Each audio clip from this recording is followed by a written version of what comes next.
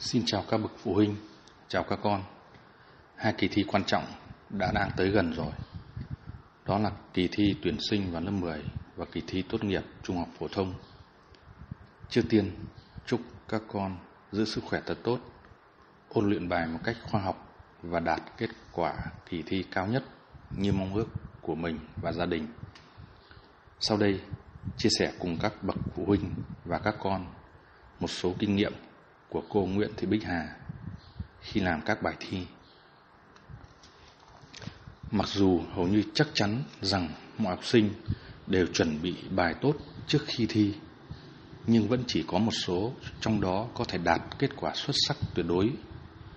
Có nhiều nguyên nhân dẫn đến tình trạng này.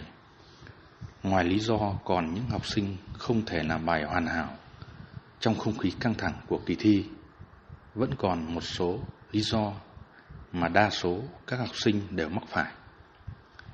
Ngay khi ngồi trong phòng thi, bạn vẫn dễ mắc một số sai lầm thường gặp. Ví dụ như mất thời gian vào những câu hỏi quá khó hay sa đà vào những câu hỏi đã được học tủ, bỏ qua những kiến thức quá dễ, đơn giản. Cách thức làm bài thi với hai nguyên tắc cơ bản đó là để đạt được điểm tuyệt đối theo đúng khả năng vốn có của bạn. Có hai nguyên tắc bạn tuyệt đối phải theo. Nguyên tắc thứ nhất, luôn đọc kỹ câu hỏi. Mặc dù bạn cần đọc nhanh câu hỏi để trả lời nhằm tiết kiệm thời gian, nhưng điều đó không có nghĩa bạn được phép đọc lướt một cách cầu thả. Luôn có nhiều bẫy rất nhỏ trong bài thi.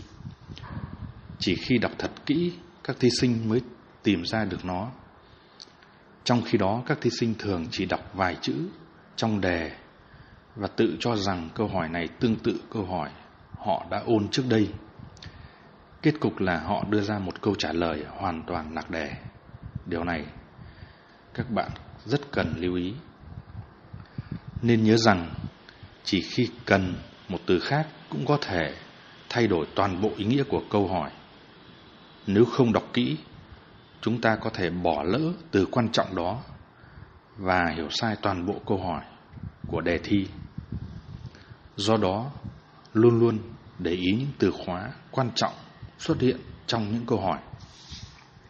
Ví dụ, đừng có nhầm lẫn và trong khi câu hỏi ghi hoặc cũng đừng nhầm lẫn giữa mệnh đề nào đó bên dưới là đúng với mệnh đề nào bên trên là không đúng. Vì vậy, bạn hãy luyện tập cách đọc câu hỏi nhanh mà vẫn bao quát được cả câu hỏi. Nếu cần, bạn có thể đánh dấu những từ ngữ quan trọng trong các đề thi. Điều này sẽ giúp bạn tránh được sai sót trong quá trình làm bài. Nguyên tắc thứ hai là trả lời câu hỏi vừa đủ ngay khi đọc lướt qua bài thi, bạn có thể đã nhận ra một số câu hỏi trúng đủ. Đó là những câu hỏi bạn được luyện tập hàng ngày, có thể đặt bút làm ngay lập tức và tự tin với kết quả của mình. Tuy nhiên, bạn cần nhớ rằng không bao giờ ngục lặn trong câu hỏi trước khi biết được thực sự câu hỏi có cần thông tin gì. Nếu bạn làm thế, bạn có thể đưa ra quá ít thông tin quá nhiều thông tin hoặc là lạc đề. Bước đầu tiên, bạn phải biết được bạn cần đưa ra bao nhiêu thông tin. Mặc dù với kiến thức của mình, bạn có thể viết cả ngày cho những câu hỏi coi được là chúng đủ. Nhưng lưu ý hãy cân đối thời gian và nội dung. Bạn có thể lấy điểm số phân chia trong từng câu hỏi để làm tiêu chuẩn về cách thức làm bài thi với hai dạng câu hỏi phổ biến trong đề thi. Cách thức làm bài thi với câu hỏi trắc nghiệm. Nhiều học sinh cho rằng các câu hỏi trắc nghiệm là đơn giản nhất trong các dạng câu hỏi. Lý do bởi nó đã có sẵn đáp án để chọn. Lời khuyên dành cho bạn là đừng bao giờ đánh giá thấp các câu hỏi trắc nghiệm. Thật sự, đây là dạng câu hỏi đánh đố nhất Thông thường, người ra đề thi sẽ ra những lựa chọn rất giống nhau đến nỗi bạn phải cần đến không chỉ kiến thức mà còn cả kỹ năng để lựa chọn câu trả lời đúng nhất. Nếu không hiểu rõ khái niệm trong bài, bạn rất dễ dàng trả lời sai. Câu hỏi trắc nghiệm cũng là dạng câu hỏi mà học sinh phạm lỗi bất cẩn nhiều nhất. Bởi vậy, bạn cần nắm chắc phương pháp giúp thành thạo trong việc trả lời câu hỏi trắc nghiệm trong đề thi. Về phương pháp trả lời các câu hỏi trắc nghiệm trong đề thi là đọc kỹ từng chữ trong câu hỏi, đưa ra trả lời trước của bạn.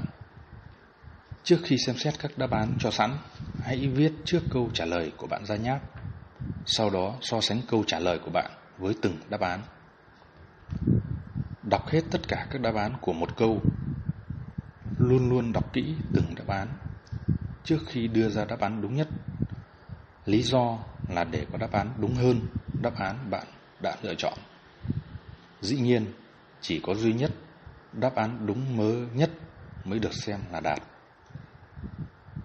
Dùng phương pháp loại trừ Ngoài những câu hỏi bạn biết chắc chắn đáp án, đôi khi vẫn còn tồn tại những câu hỏi có nhiều đáp án, dễ gây nhầm lẫn cho bạn. Bởi vậy, trong nhiều trường hợp, kỹ thuật loại trừ là phương pháp hiệu quả để bạn tìm ra đáp án đúng nhất. Về kỹ thuật loại trừ hiệu quả để trả lời câu hỏi trắc nghiệm. Loại trừ đáp án sai rõ ràng. Loại trừ đáp án sai chút ít. Đây là đáp án có vẻ đúng nhưng có một hoặc hai từ làm nó sai. Loại trừ đáp án vốn dĩ là đúng nhưng không liên quan đến câu hỏi. Loại trừ đáp án rất khác biệt so với các đáp án khác. Đáp án này thường là sai. Nếu có hai đáp án rất giống nhau, một trong hai đáp án thường là đúng. Nếu có hai đáp án đối nghịch nhau, một trong hai đáp án thường là đúng. Về cách thức làm bài thi với câu hỏi viết luận. Để thành thạo dạng câu hỏi viết luận,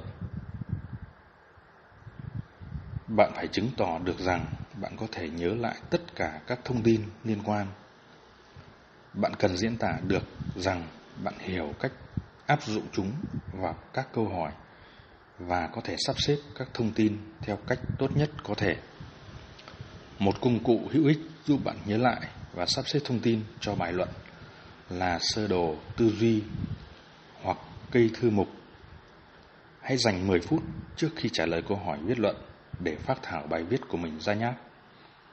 Sơ đồ, tư duy này sẽ giúp bạn nhớ lại các ý chính cũng như nhận ra được cách sắp xếp thông tin tốt nhất. Về tác dụng của việc phát thảo bài viết Việc phát thảo bài viết giúp cho bạn thấy được một cấu trúc tổng quát trước khi bạn bắt đầu viết. Như vậy thì bạn có thể quyết định nên đưa thông tin nào vào bài, sắp xếp thứ tự các ý như thế nào là phù hợp và logic nhất.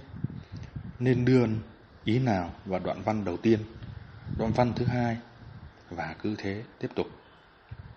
Nói chung, bài viết luận của bạn có thể chia thành ba phần mở bài, thân bài và kết bài. Điều quan trọng là trong phần kết bài, các ý chính được tóm tắt lại và đưa ra được lập trường vững chắc. Mỗi một lỗi thông thường nhất mà học sinh hay phạm phải khi viết bài viết luận là viết lạc đề. Việc phát thảo trước bài viết sẽ giúp bạn tránh lỗi này. về cách thức kiểm tra lại bài trong những phút cuối của một buổi thi. Sau khi trả lời tất cả các câu hỏi, lý tưởng nhất là bạn lên dành 15 phút cuối để đọc lại bài như dự tính. Đây là những phút quan trọng nhất. Chắc chắn bạn sẽ phát hiện ra một vài lỗi nhỏ và một số thông tin bị bỏ lỡ. Để kiểm tra bài hiệu quả nhất, bạn nên làm các bước sau đây.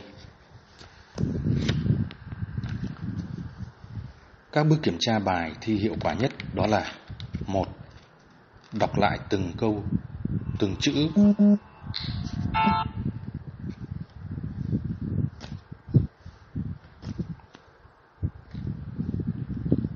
để đảm bảo bạn đã hiểu câu hỏi một cách chính xác nhất.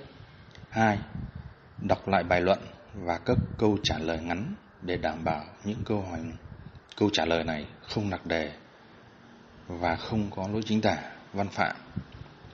Cũng đảm bảo rằng không có ý chính quan trọng nào bị bỏ sót. 3.